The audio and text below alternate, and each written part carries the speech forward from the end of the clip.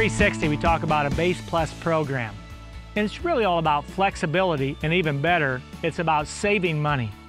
It's about being always right, no matter what kind of a growing season nature throws at us. And I can remember in the early days, before we had the ability to do Y-drop mid late season, we were under the gun to always guess ahead of time. So let's take a look at three years. Let's take 2012, a drought year, a generational worst drought for me. 2015, here in central Illinois, all-time wettest. And then the tremendous year we had last year in 2016 where everything just seemed to go right. Started off with super spring and it stayed that way weather-wise, so we had a ton of mineralization. In other words, weather was so conducive that we did not have to put on a lot of nitrogen. So let's break it down and talk about how a Base Plus program would work. In 2012 in the drought, where back then I had too much on too early, I couldn't react. There's a $25 an acre savings by being able to say, you know what? We're going to be 100 bushel corn instead of 250. We wouldn't need all that nitrogen on out ahead and there's $25 that we could put in our pocket. Quite the opposite in 2015. We definitely needed more in. And we were able to come in in a Base Plus program, monitor, see that the tank was running empty. We recharged that fuel tank in the field late in the season, and we were able to put 14 bushel national average across the country, all across the country, using the same amount of nitrogen by changing the timing and the placement. In other words, we didn't have that nitrogen at risk. Yes, we spent a little more money, but 40 bushel was very, very common in many fields with 14 across the board average. There's $50 right there. Then we come to 2016, where everything seemed to line up. The Base Plus program was quite an advantage to us. So where we had on pre-plant 100 units with the planter and pre-plant, then we came back in of 80 units to 85 units right at shoulder high corn and V10 with a planned third pass with Y-drop at tassel time. When we saw nature giving us lots of free dollars of nitrogen, we didn't apply the last 50 pounds. And so we put in our pocket 25 extra dollars an acre just in inputs. So then when you go back and look at our national trials across the country, and we saw a 7 to 10 bushel average there, we put another $25 in our pocket. And so all of a sudden, we were back to $50, just like we were in 2015. And with $25 in 2012, it becomes an obvious choice for Base Plus because time always lets us win. Time is our friend when it comes to nitrogen application. The longer we wait, the more we know about the status of our soil nitrate levels. Look at a rainfall history chart and it becomes easier to see how we can make smarter application decisions later in the season. This chart shows the last five years of rainfall in Tremont, Illinois for the corn growing season. You can see our drought year of 2012 and the wet year of 2015. If we put all of our nitrogen down pre-plant, we have no way to adjust our application based on the differences in the growing season our nitrogen is sitting there, vulnerable to the weather. In a dry year, we've overspent on N because the plant can't take up what we've supplied. But if we had planned a late season application, say early July, we could have lowered our application rate and pocketed 20 to $30 an acre. We know that an inch of rain moves nitrogen six inches down. So look how many years of pre-plant application would have been flushed by a heavy rain event. In three out of the five years, we had flushing rains in June. This year, we had heavy rains in both late April and July. So, in four out of the last five years, the flexibility of a late season application means we could have made meaningful adjustments to our nitrogen plan and either saved input money or protected yield potential. We're in a central Illinois cornfield that's been without rain for 18 days. We're approaching the mid 90s in multiple days here. With my handy little digital meat thermometer, we're at 111 degrees and three inches of soil depth. But at the same time, the field I'm in here has been on the Base Plus program for 360. In other words, it has 100 pounds of nitrogen put on with the planter. So we are approaching V9, and in about another week to 10 days, we're gonna be in here with Y-Drop applying nitrogen right beside this stalk, preloading success for a high yield come ear fill. So Base Plus program gives us peace of mind because if this would continue, 2012, this heat and drought continued all the way to harvest. The problem was in 2012, Greg had on 240 pounds of nitrogen. We're here, if only 100 pounds on, I have a lot of different ways that I can jump at any given time. As we talk about a base plus system for nitrogen, and we come into a field like this one today at a V11 stage of growth, it's pretty exciting as we monitor the very lowest leaves and you see there's no nitrogen drawdown. It's a quick indication that nature has been on our side here. And the microbials, who we call Mike, are working really hard. So for every percentage of organic matter, you get about 20 pounds of nitrogen. So if nature's cooperating like it is here, we could receive as much as 80 to 100 pounds of free N. And it makes me smile when I don't have to write that large of a check. So the yield goal in this field is 240.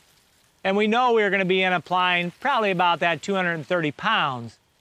But as we come in and we probe and we use our soil scan, we can see that we have plenty of extra N available to us.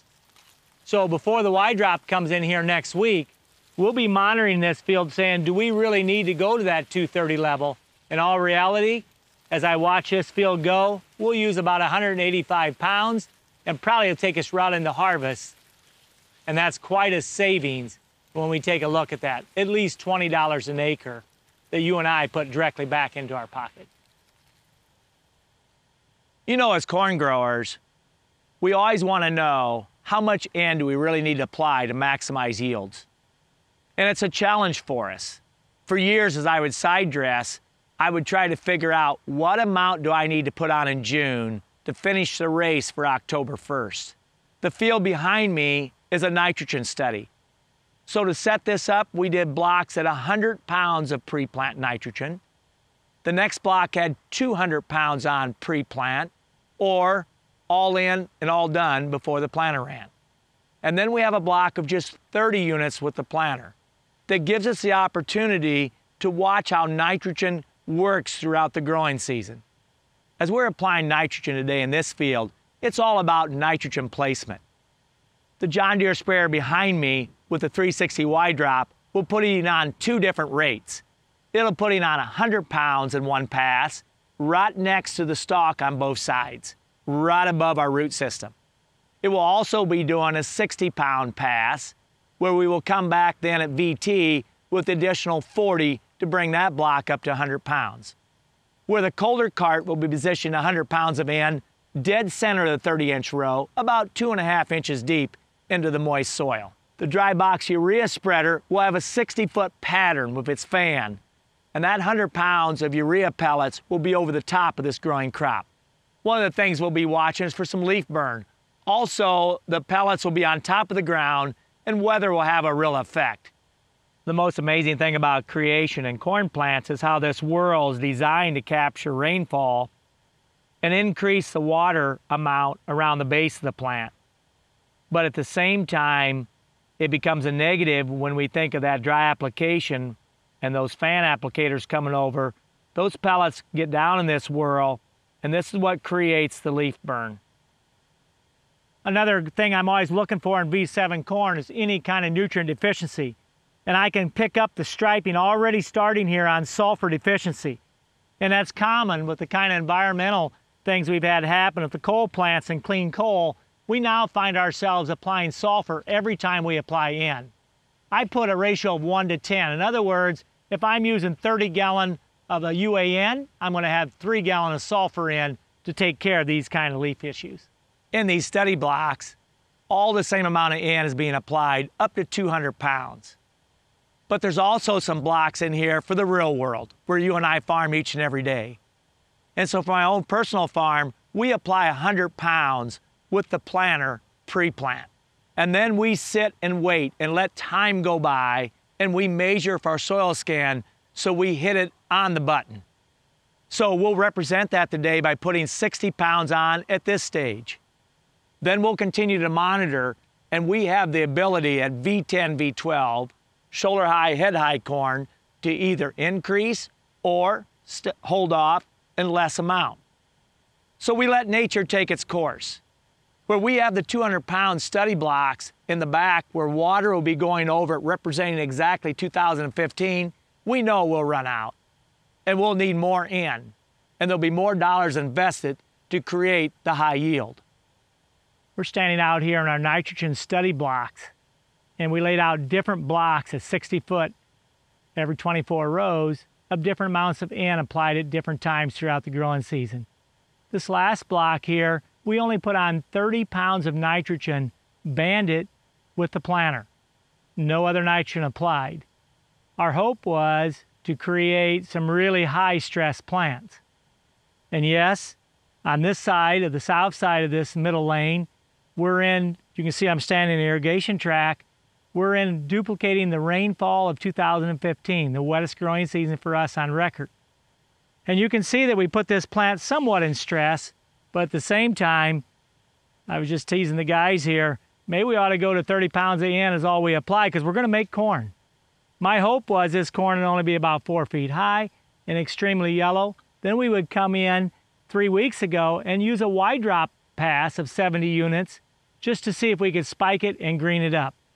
So as we look at 30 only banded, you can see the bottom leaf and this leaf, third leaf, even the fourth leaf starting to show some signs of nitrogen deficiency, and it's the classic, straight up the center. Then we come just 24 into the uh, 30 inches away, and you can see three weeks ago we came into this and we put on nitrogen with the Y-drop at 70 units. So now we have 100 pounds on, 30 banded with the planter.